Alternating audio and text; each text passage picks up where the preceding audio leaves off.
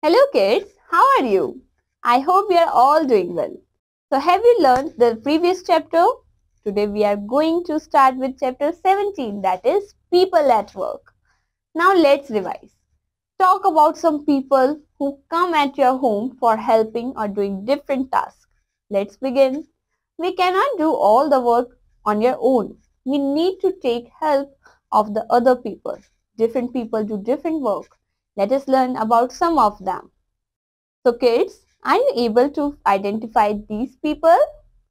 Yes. See here, Dr. Bhatia is a, yes, it's doctor. He treats patients.